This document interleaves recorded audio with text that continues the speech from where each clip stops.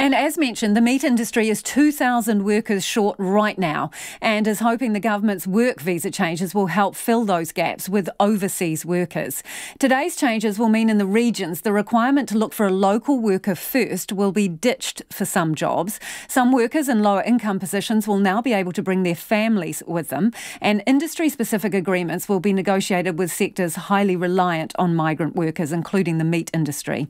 Matt Ballard is from Silver Fern Farm Farms, which processes premium quality lamb, beef, and venison all over the country. And he reckons the visa changes will make recruitment easier. Yeah, Lisa, at the peak of the season, Silver Fern Farms employs up to 6,000 people across 13 plants um, from top of the North Island and Dargaville all the way down to Southland. And every year, um, to fill that that number of seats, we recruit anywhere between 2,000 and 2,500 people. At any point in time during the main season, which typically runs from December till August, uh, we may be short um, between two and 500 staff at, at, at different points of time during the course of the season. So the ability to have some flexibility to help us fill roles right in the peak production periods is really valuable for us. What kind of jobs are you talking about here? Are they jobs that people would want? Yeah, absolutely, and and and we provide great career paths too. We are one of the biggest on the job trainers, as all the industries go these days. We we offer uh, uh, new people coming into the industry pathways to become more skilled, to move through the pay grade, and to have later on in their career supervisory opportunities. So, yes, there's a training pathway. A lot of the people that come into our plants do need to learn new skills. Um, and it's a highly controlled work environment. We produce food for the world of the highest quality, and it's a safety orientated environment. So there are requirements. But, so why can't you, know, you get people... the people? Because you're painting a picture of a career path, good solid jobs, I imagine quite decent money. So why can't you get people? Look, we do. You know, we, we, we, we get 2,000 people a year, to be fair, but we could always use a few hundred more. And I think there's complex reasons why it's harder than it used to be. There's some socio-economic region, reasons where we are out in the rural areas, um, and and and it just seems to be the case that um, getting people to stay in seasonal work is more challenging than it used to be. So, at the moment, how many, what percentage of your workers w- would be overseas workers?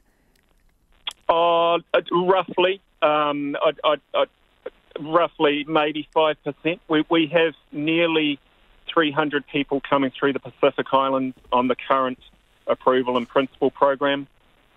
We also have halal butchers who are uh, a Muslim denomination skilled butcher, butchery workers to allow our plants to be halal certified. And then out there, there'll be lots and lots of other people that have come to New Zealand either during the course of the season or during the course of their lives. So it's a little bit hard to say specifically but it's a decent number. So, how do you reckon these new visa changes announced today, how are they going to help you fill that up to 500 jobs each season? Firstly, I'd like to commend the ministry on the work they did consulting with industry. We've been involved both at a meat industry level and I've been involved personally, Silver Fern Farms, giving feedback through the consultation process, and the ministry has listened. So I, I believe that the the key things are the simplification of the process, the one single immigration visa, the employer accreditation, and the industry immigration agreements, which we hope to successfully be one of the first industries to put one of those in place with the ministry. So, what is that, Matt? Simplify process. Can you help people um, understand um, what that means? Will it mean you get a set number of people, or how does it work? Look, we need to work through some of those details. But my understanding at the moment is that we'll outline the broad parameters of what the industry needs by regional needs, and the accredited employers within that framework will be able to move faster than we otherwise would have. I think it's, it's critical that other key parties are involved in that process. We've got a good relationship with the Meat Workers Union and, and with other industry stakeholders. So I think it's really, really important that everyone's on the same page because at the end of the day, having the right number of people in our plants allows us to produce at a higher level with good quality and therefore all of our workforce gets the rewards for that. So that industry-wide agreement, do you think it will take away the flood of paperwork in essence that, and save time?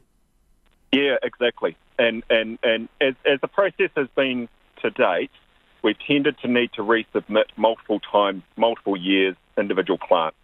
So the administration piece of it's been difficult, and I think even better, our ability to communicate with prospective employees about timelines and expectations and their families as well um, is going to be really positive. I, I also believe the ability for workers on immigration visas to support their families, that change is also a very positive one. So this is the one where um, they they put a kind of stop to it in, in 2017, I think it was. If you're a, a low income worker, you will now be able to bring your family with you, correct? Under the right circumstances, yeah, that's yes. right. So and, and why is that good for you guys? Well, look, I mean, I think if you want, uh, we're, we're better off having someone who's going to be employed by us for a number of seasons, a number of years. That way we can offer career paths, we can offer movement through the pay grade, and that's much more likely when they've got the whānau and family around them. So your your businesses are mainly in the regions. So there is a move here to get rid of the requirement in the regions to prove that you've looked for a Kiwi worker first. What difference is that going to make for you? Practically, probably not a massive difference because the reality is we're advertising for roles, we, you know, we're doing that anyway. I think it became a bit of an administrative hurdle, um, to be honest with you. So again, if that can be cleaned up, then that, that's all good. Um, obviously, you know, as a New Zealand major employer, if we can find skilled, capable local people, of course we're going to take them. It just makes sense. So the counterintuitive idea that we wouldn't do that never really stacked up anyway. Are overseas workers cheaper for you? Because that's no, the other thing not, people say.